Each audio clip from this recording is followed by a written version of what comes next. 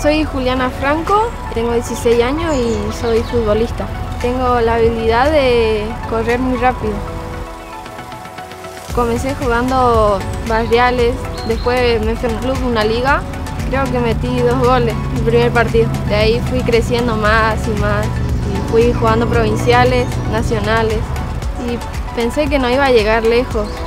Eh, pensé que iba a estar en mi pueblo, en mi barrio, jugando ahí nomás. Pero nunca creí que iba a llegar hasta acá, jugar en la selección y ahora en, un club.